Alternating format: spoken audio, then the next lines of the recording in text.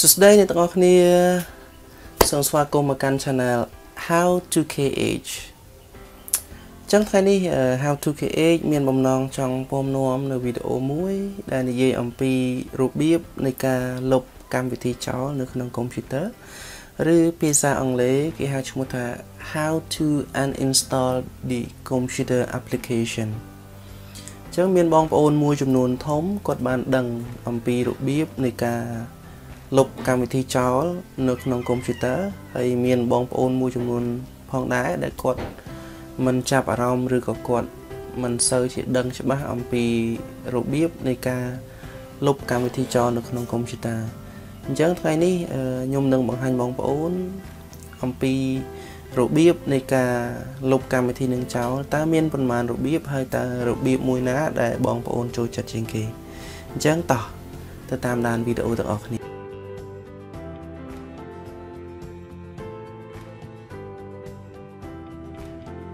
អូខេអញ្ចឹងអ្នកទាំងអស់គ្នាតាមឲ្យតាន់អញ្ចឹងខ្ញុំនឹងបង្ហាញរបៀបនៃការលុបកម្មវិធីចោលមួយមួយអញ្ចឹងរបៀបនៃការលុបកម្មវិធីចោលគឺខ្ញុំថ្ងៃនេះខ្ញុំនឹងបង្ហាញបងប្អូនពីររបៀបអញ្ចឹងរបៀបទី1និងរបៀបទី2បើបងប្អូនចូលចិត្តរបៀបណាជាងគេសាច់ទៅបងប្អូនទៅអញ្ចឹងរបៀបទី1បងប្អូនចូលទៅក្នុង menu start menu នេះទៅមកបងប្អូនវាពាក្យថា control អញ្ចឹងនេះយើងចូលទៅក្នុង control panel អញ្ចឹងវាចេញមកអញ្ចឹងវាចេញមកអញ្ចឹងហើយបើសិនជាបងប្អូនពិបាករកបងប្អូនដូរ view by ហ្នឹងបងប្អូនចុចទៅលើ category ចុចទៅលើ category បងប្អូននឹងឃើញ uninstall program អញ្ចឹងយើងចូលកន្លែងកន្លែង uninstall program មកយើងនឹងមកដល់កន្លែងដែលយើង uninstall ហើយហើយរបៀបមួយទៀតដូចគ្នាបងប្អូនអឺចុច key window ជាមួយនឹងអក្សរ O វានឹងចេញ run បែបនេះអញ្ចឹងយើងគ្រាន់តែវាយអក្សរ A P P W I Z .c e l អញ្ចឹងយើងចុច enter មកវានឹងមកដល់កន្លែងនេះដូចគ្នាអញ្ចឹងវាវាលឿនជាងបើសិនជាយើងចាំ keyword អក្សរដែលខ្ញុំវាយបំបញ្ញបំបញ្ញមិញហ្នឹង appwiz.cpl អញ្ចឹងអានោះគឺយើង click enter មកគឺមកដល់កន្លែងនេះតែម្ដងអញ្ចឹងលឿនមែនតើ អូខេអញ្ចឹងអឺរបៀបនៃការលុបចោលនេះអញ្ចឹងរបៀបនៃការលុបចោល Microsoft Office Professional Plus 2010អញ្ចឹងចង់លុបវាចោលយើងគ្រាន់តែ click ទៅលើវាមកហើយយើងចុច uninstall ឬក៏យើង click មកស្ដាំយកពាក្យថា uninstall អូខេ ចឹងយើងចុច uninstall មកវាចេញផ្ទាំងអញ្ចឹងវាសួរថា Are you sure want to remove Microsoft Office Professional Plus 2010 from your computer អឺតើអ្នកច្បាស់ទេថាអ្នកនឹងលុបកម្មវិធី Microsoft Office Professional Plus 2010ពី computer របស់អ្នកអញ្ចឹងយើងលុបវាចោលគឺយើងចុចពាក្យថា yes អូខេ អញ្ចឹងយើងចុចពាក្យថា yes បន្ទាប់មកវានឹងចេញផ្ទាំងបែបនេះវាដាក់ថា uninstall progressed អញ្ចឹងបានន័យថាការលុបកម្មវិធីរបស់យើងនឹងគឺកំពុងតែ process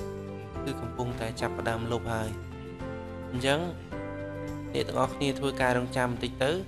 អញ្ចឹងអាពណ៌ខៀវនេះវាលោតរហូតដល់ពេញកន្លែងនេះគឺបានន័យថាវាលុបបានជោគជ័យអូខេអញ្ចឹងវាលុបបានជោគជ័យអញ្ចឹងអ្នកទាំងអស់គ្នាចាំបន្តិចទៅព្រោះមុននេះមិនបាញ់មាញ់យើងមើលឃើញកម្មវិធី Microsoft Office Microsoft Word 2010 Microsoft Excel 2010ហើយនឹងកម្មវិធី PowerPoint កម្មវិធីមួយចំនួនពាក់ព័ន្ធជាមួយនឹង Microsoft Office ហ្នឹងគឺវានឹងលុបចោលទាំងអស់អូខេ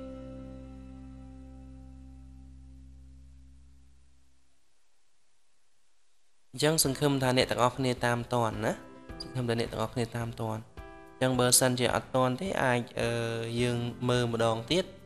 បើសិនជាអ្នកទាំងអស់គ្នាចង់ដឹងអំពីរបៀបធ្វើអីមួយផ្សេងផ្សេងជាលក្ខណៈជាវីដេអូសូមជួយ comment នៅខាងក្រោម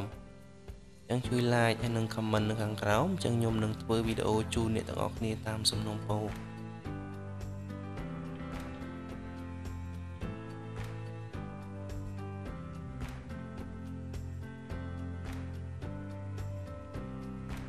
Microsoft Word Microsoft Excel PowerPoint យ៉ាហើយ Microsoft យ៉ាមានច្រើនយើងមានច្រើនអញ្ចឹងនៅពេលដែលយើងលុបចោលគឺវាតម្រូវពេលវេលារៀងយូរបន្តិចប៉ុន្តែមិនយូរពេកទេអញ្ចឹងពេលវេលាវាសមល្មមអាចទង3ទៅ5នាទីអញ្ចឹងទៅតាមប្រភេទកុំព្យូទ័ររបស់យើងដែរអញ្ចឹងបើសិនជាកុំព្យូទ័ររបស់យើង RAM រាងធំហើយ Windows ថ្មីអីចឹងវាអត់សូវយឺតគឺវាដើរលឿនទេតែបើសិនជាកុំព្យូទ័រយើង RAM ទូចហើយរាងចាស់យើងប្រើយូរវាអាចប្រើពេលវេលារាងលឿនអឺរាងយូរដែរអូខេអញ្ចឹងអឺឥឡូវ Microsoft Office Professional 2010 has been successfully uninstalled ចឹងបានន័យថាយើងលុបវាបានជោគជ័យទៅមកយើងចុច close ចឹងវាសួរថា in order to complete setup a system reboot is necessary would you like to reboot now ចឹងនៅពេលដែលយើងលុបវាហើយវាសួរថា system computer របស់យើងនឹងគឺតម្រូវឲ្យយើង restart computer តើអ្នកចង់ restart computer ឥឡូវដែរឬទេអញ្ចឹងសម្រាប់ខ្ញុំដោយសារតែខ្ញុំកំពុងតែធ្វើវីដេអូឲ្យអ្នកទាំងអស់គ្នាអញ្ចឹងខ្ញុំចុចពាក្យ no អញ្ចឹងខ្ញុំអត់ទាន់ restart ឥឡូវឥឡូវទេប៉ុន្តែសម្រាប់អ្នកទាំងអស់គ្នាខ្ញុំតម្រូវឬក៏ខ្ញុំស្នើសុំសំណុំពរឲ្យអ្នកទាំងអស់គ្នាចុច yes អញ្ចឹងវានឹង restart ទៅ restart វានឹងបើកមកវិញណាអូខេ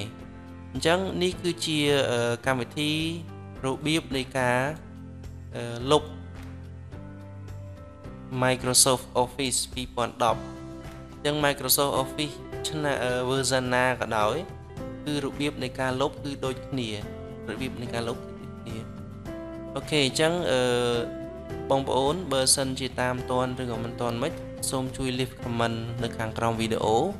ហើយវីដេអូបន្ទាប់ ខ្ញុំនឹងបង្ហាញបងប្អូនអំពីរបៀបនៃការដំឡើងកម្មវិធី Microsoft Office សារជាថ្មីអូខេអញ្ចឹងសង្ឃឹមថាបងប្អូនចូលចិត្តវីដេអូនេះអញ្ចឹងជួបគ្នានៅឱកាសក្រោយហើយនឹងវីដេអូក្រោយបាយបាយ